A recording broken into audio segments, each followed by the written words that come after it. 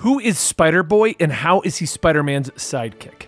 Today we're going to be looking at Spider Man issue 11, where we finally find out who is Spider Boy. When we left off, Spider Boy was mad at Spider Man for again claiming he didn't know who the child was. So today, Spider Boy is going to finally explain his origins. This is Comicstorian, and we create audio dramas of comic books that are currently out. And today we're going to be talking about Spider Man number 11. And if you enjoy it, head over to your local comic book shop and add it to your collection. After chasing Spider Boy down, Peter stops him.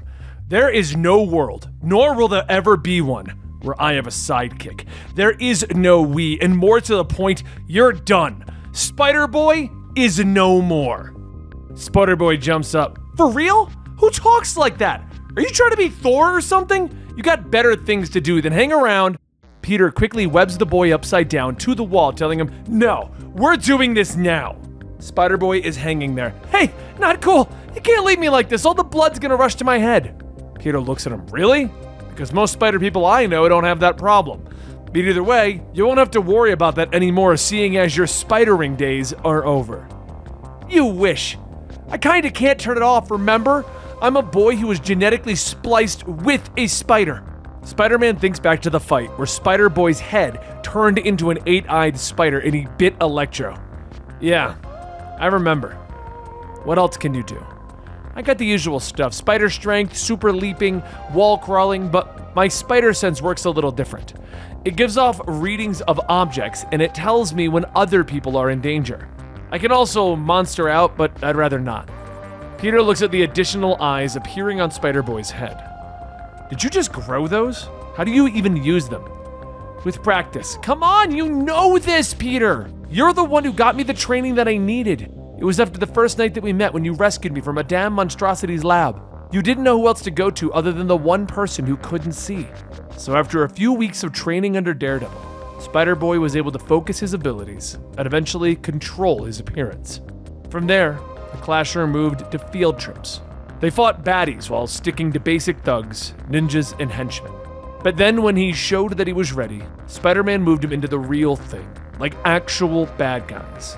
Spider Man wanted to know if that's the moment Spider Boy started tagging along, that he became the sidekick.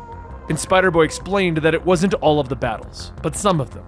He made him promise that he would sit out if they were going up against the big guys, like Carnage or Doctor Doom. Spider Man kind of accepts this excuse and then asks him if he's on Team Spidey, where are the web shooters? Spider Boy says that Spider Man wouldn't let him have them. They tried once, but there was an incident, and it was really kind of embarrassing. So Spider Man moves on. He asks about the sidekick stuff. He explains that he never would have agreed to that, and Spider Boy tells him that they worked it out years ago, right after his big win. He took out a major bad guy all by himself. It was live, it was televised, and everyone saw it. And after that, people couldn't get enough of him. But even though he may have 360 degree vision, he also doesn't have normal spider sense. So after taking down Killionaire, he got captured. But it was really cool. Arcade literally put him into a pinball machine and shot him around so that he'd bang into things. Of course, Spider Man saved him, but it was a bit of a buzzkill in Murder World. They then fought some crappy clones of each other, and when they were ready for the next batch, everything stopped. It seemed that Arcade was hired by Killionaire to kill Spider Boy, but when Killionaire's check bounced, Arcade freed them both. Peter shakes his head. Under no circumstances would I have ever had a kid partner. Spider Boy again. Are you not listening? We worked as a team! How could you forget? That's the problem. I did forget, because it was erased from the web of destiny. And the only way that that could have happened is if you had been stabbed by a certain magical dagger, which would mean that I let you, a child, get stabbed on my watch. And because of that, we're not doing this anymore. Spider Boy responds to him very accurately. Jessica Drew got stabbed. Would you bench her? Or Kaine? Heck, you got stabbed in that. Peter jumps down. All right, you do have a good point. But that doesn't change the fact that if you were my sidekick, you'd be under my care, and I work alone. But while Peter has his back turned, Spider Boy frees himself from the webbing, jumping over, grabbing a hold of Peter's head, flipping him onto his back. How did you do that? How did you get free? And Spider Boy explains that he doesn't trip Spider Man's spider sense. And as for the webbing, it's because he has a web fluid dissolver in his bug pack. Sound familiar? Peter looks at the small canister. Yeah, it does look like one of mine. Spider Boy explains that he gave it to him just in case because they are friends. That part didn't happen overnight, but in time, he was more and more trusting to take on bigger and bigger threats. Peter asked what happened then. Spider Boy says that it all came down to one adventure, and he's not gonna believe it. Who was it? Sinister Six, Red Goblin? Spider Boy quietly says that it was Big Wheel. Big Wheel? Okay, explain.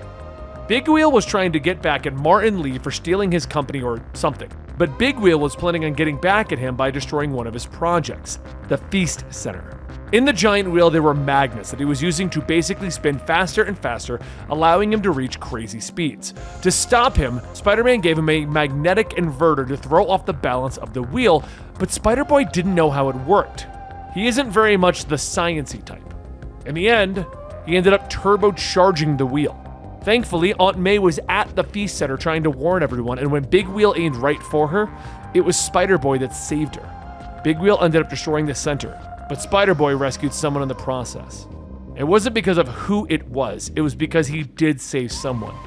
After that, Spider Man told him that it could have been anyone. One life, every life. Whenever he can, Spider Boy needs to act. That's what superheroing is all about. And if he does that, he can continue living the spider life. That hasn't changed, right? Peter looks at him. That hasn't changed. But maybe I have changed. When I was stabbed by the magic knife, my spider life was erased and I got to live a normal life. I even had Uncle Ben and it felt right.